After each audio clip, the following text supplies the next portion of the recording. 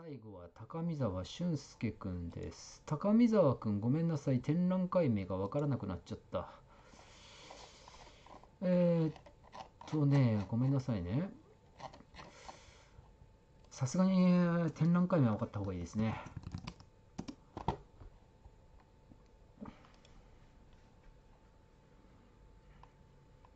あ、えー、っと、スクリーニングオーガノンですね。スクリーニングオーガノンという作品になります。あ、ごめんなさい。展示になります。えー、歌詞という歌詞ですね。ギャラリーでえ展示されています。今、浅草橋の方にありますね。えーっと、ちょっと移転されまして、えーですね、秋葉原からすぐですよ。あと、上野から、上野っていうか、上野、まあ、御徒町とかからもすぐなんで、あの、いいところにできているので、ぜひ、えっと、あと2回、2日か、27、28、6月27日、28日も見れるので、ぜひこれは見ていて、えー、欲しいなというふうに思っております。えー、高見沢くんです。で、えっと、と、と、と、と、どこから見せようかな。えー、っとですね、これで見せましょうか。はい。えー、あー、でもな、うん、そうね。えー、っとね、まあまあ、まあまあ、これを、これで見せましょうか。えー、っとです、うん、でもちょっと違うな。えー、っとね、ごめんなさいね。ちょっとアップのものから見せます。これにしましょうか。はい。え、っとね、高見さんもこういう機構を作ってるんですね。で、え、っとね、これ、これ何かっていうとですね、これサーバーなんですよね。で、ここにサーバーがあるんですね。ここにサーバーがあるんですよ。じゃ、この上のでっかいやつ何かというとですね、これね、電電気をね、発生するで、電力機構なんですよ。要するに。で、これまあ結構ね、5ボルト出てるのかな？だから結構すごいんですよ。ね。だ結構出てるんです。じゃあこれ何で発生させるかっていうと、これだけ。ここ。わかります？これ。こんなにちっちゃいろうそくなんですよ。こんなにちっちゃいろうそくだけで、ろうそくから、あのえっ、とですね、電気を発生させてるんですね。まあでもちなみに3つあるんですけどね、こここ1、2、3、3つ。で、えーさらにですね、この、ここにですね、こういうふうにこう、ありますね、こうなんかあの管が。これはですね、水なんですね。じゃあなんでこれ水が必要かっていうとですね、これ実はですね、温度差によってですね、えー熱を発生させるっていう装置なんですね。でもまあ、あのそのことできるのかっていうふうに思うかもしれないですけど、まあまあ、あのできるんですよ。あの できるっていうか、あのね、多分ね、あのエアコン考えれば簡単だと思うんですけどね。で、実際エアコン彼使ったりしてたんだけど、エアコンって、あの、あれじゃないですか、電気を使ってですね、えっと、空気を冷たくするわけだけど、あったかい空気吸い込むでしょ。で、あれ結露させるっていうことによって、要するに結露、結結露ってあるでしょ。水が出てくるじゃないで結露させるっていう作業をすることによって、えっとえっと冷たく空気をするわけ。でその結露させるっていう時に電気を使うんですね。でこれ逆を考えればいいわけですよ。逆を考えると、えっと、その温度差によってね。温度差によって熱が発生するっていうのも当然でしょ。って考えてみたらいいんじゃないかと僕は思うんだけど。であんまり分かってないよ僕も。あのその構造自体はね。でもなんとか素子とかっていうのを使うらしくてなんかまああのあるらしいんですけどそういうやり方がね、えーだからまああのこの間になんかこの間にあの電気が発生しているんでしょうおそらく。このあのパネルみたいなのがいっぱいあるんだけどそれの間に電気が発生しているんだと思うんですけど。でじゃあこの電気発生させて何やってんのかっていうことなんですよ。でさっきですねえっ、と僕えっ、とですねえーっとととこれですね。ここにサーバーがあるんですよって言ったじゃないですか僕。ここにね本当にサーバーがあるんですよ。でこっちにカメラがついてるわけ。でサーバーから何が見えるかサーバーはですよこのサーバーねこいつがですねなんとですね w i f i とつながってるんですよ。これちょっと結構驚くべきことじゃないですか。こんなですね水とですねこのちょっとの炎ね。ろうそくよ。でここからですね映像をですね w i f i に飛ばしてるんですよ。で映像を w i f i に飛ばしてでこの URL で見ることができるのねこれ。これだから今はあの今現在ね今もう夜だからやってないけど彼が電気を発生させてる間はこの映像いつでも見れます。だから誰が来てるかずっと見れるって感じ。しかもかなり鮮明に見えますよ。かなり鮮明に見えます。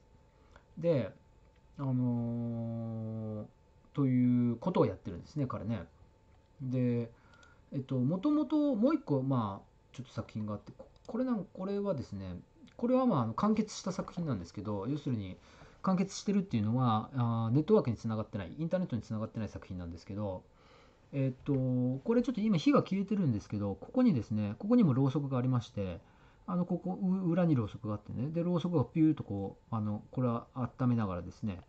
えー、っとですねここに、まああのえー、電気を発生する装置があるわけですね。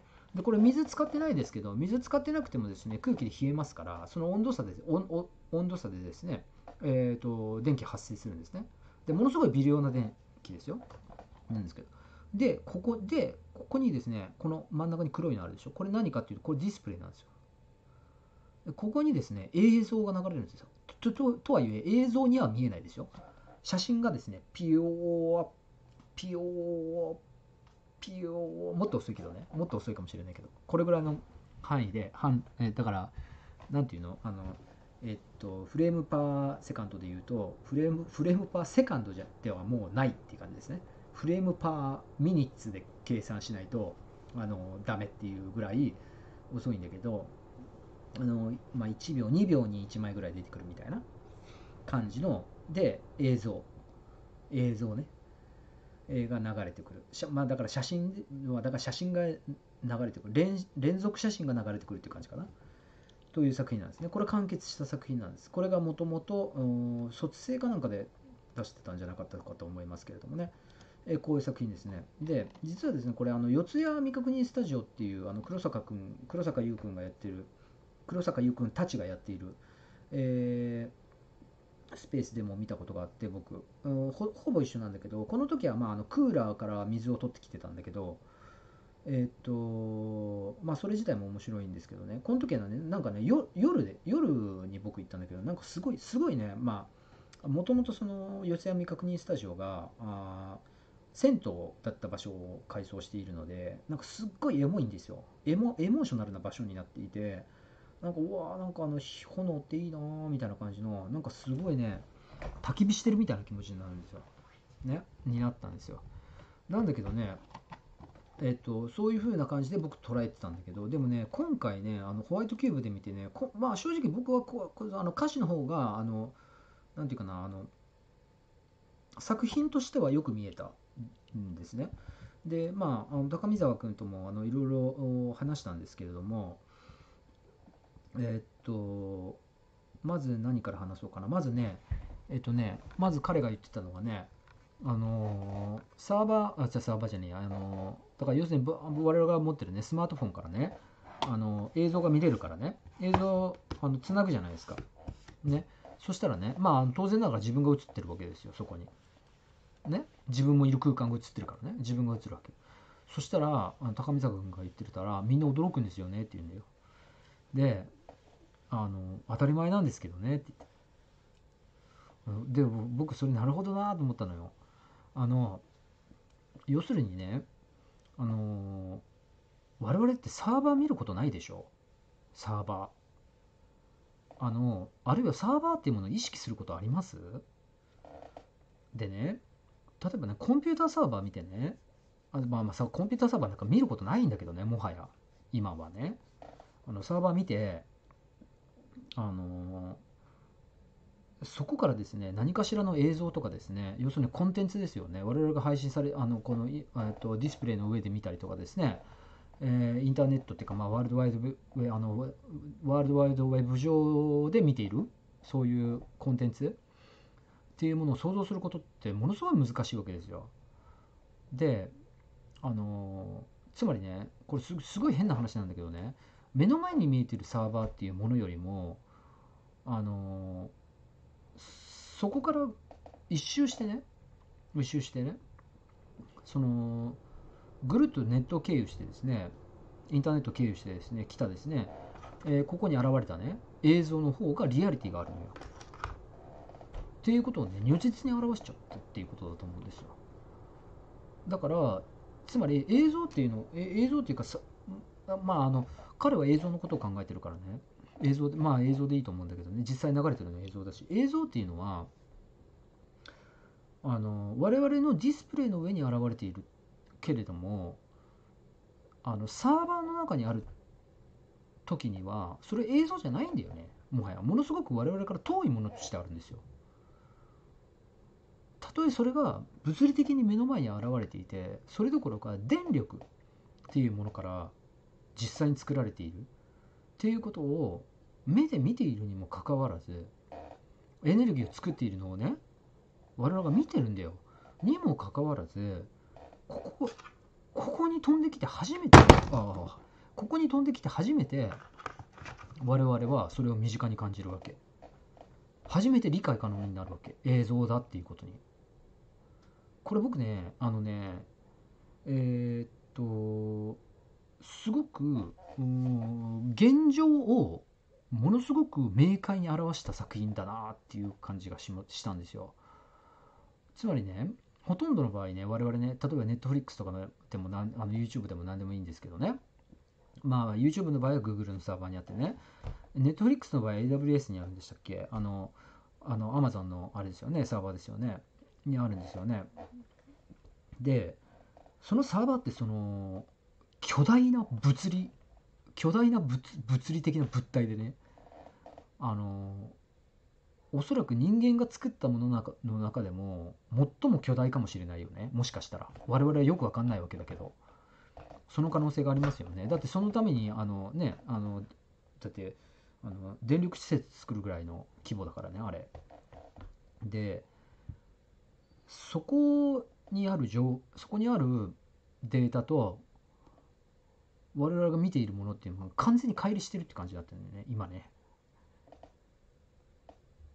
じゃあねだからねその時にねあのその時にアーティストがというか高見沢君が考えてるかどうかかたまあ高見沢君考えてると思うけどえっと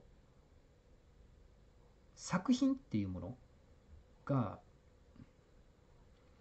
どこにあるのかっていうこと？作品って何なの？っていうことですよ要するに。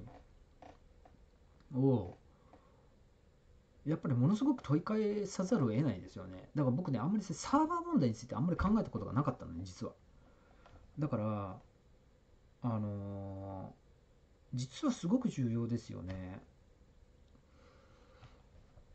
あのー最近なんか映像作品なんかもうものすごく増えてきているわけですけどね。ほとんどまだ USB とかね。あるいはまああのなんだろうなその DVD みたいなものとかねそういう形でこう販売されるんだけど、まあ、あれ見れなくなる可能性もあるしね。でほとんどのサッカーはやっぱりねあのサーバーに置いてると思うのよ。あのバックアップとして。でやっぱりそれが一番とりあえずのところなんていうかなたまあサーバーに置かれてるわけね。なんだけど何なんだろうね。そのサーバーの中に作品があるのがね。いやだから作品ってどこにあるのっていう問題が。なんかすごいこう重要な問題として立ち上がってきてるっていうことがこのあの高見沢君の作品を見てよく分かりましたよね。うん。だから我々何を見てるんだろうっていうことになんか俺もうわけわかんなくなっちゃったんですよあの高見沢君の作品を見てて。映像を見見るっていう行為自体がだからあのあれですよネットフリとかですよ。映像を見るっていう行為自体が我々は何を見てるんだろうなっていう。うん問いになってしまったんだよな。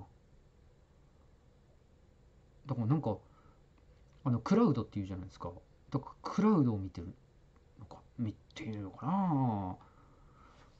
これでもすっげえ難しい問題だけどなんかめちゃくちゃ重要なところついてるっていう感じがするんですよね。ものすごく重要なところ彼ついてるという気がします、うん、だからねこれでもちょちょっとオラオラファ・エリアソンの話とかとも似てますよね。だからあの要するに彼は自分でエコシステムを作ってるわけだから。いやまあエコかどうか分かんないね、まあ、あのこの場合はネットに飛ばしてるからっていうのもあるんだけど、まあ、ネットがなくなったらっていう話もあるけどね。うん。だからいろ、まあ、かなりいろんな問題含んでますよね。まあネットで飛ばさなくても直接なんかスマートフォンとかに飛ばせるようになればそれはそれで解決しそうな気もするしね。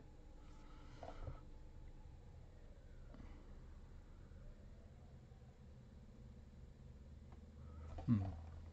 だからまあまあまあまああのその作品という概念自体を揺さぶる作品ではあると思います。うまく言えないけど。なのでうん。これもですねぜひまあ見てみてください。あのーうん。これでもなこここは本当にね重要な作品ですよね。うん。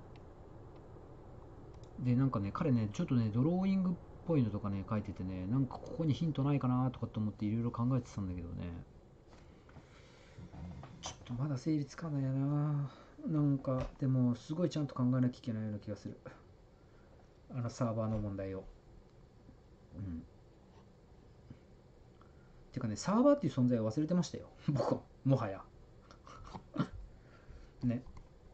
僕もサーバー借りてるけど。うん。だからサーバーを借りるっていうのもねなんかそのね普通に契約すれば契約して、えーねサーバーの会社に契約して借りればいいわけだけどまあどこのサーバーどういうサーバーにあるのかとかよくわかんないしね。どういうサーバーっていうかどういう物理的な物質としてあるのかっていうのよくわかんないでしょ。うん。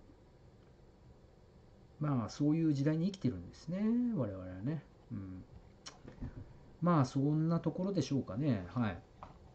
はい、で高見沢君の作、えー、と展示もまだ、えー、とあと2日ありますので、えーぜひですね、えーちょっとね2日しかないっていう感じかもしれないですけど見に行って、えーいただければと思います。高見沢君もまだ大学卒業したばっかり大学院を卒業したばっかりって感じですかねはいえー、というところでしょうかえー多分これで全部見たんじゃないかと思うんですよね。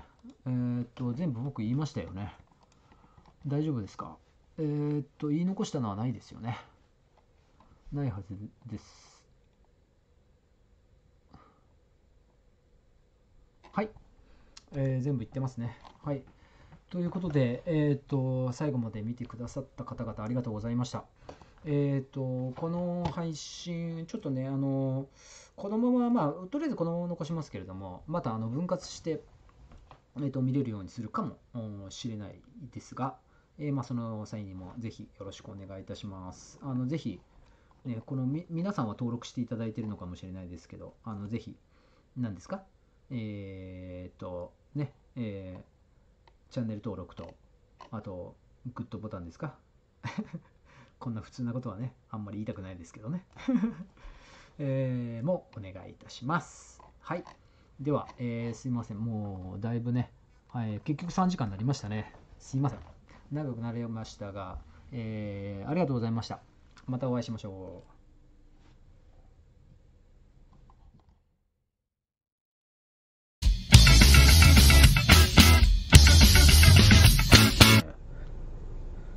やっぱりね、生きるとか死ぬっていうことについてね、考えなきゃいけないですよ。アートっていうものは。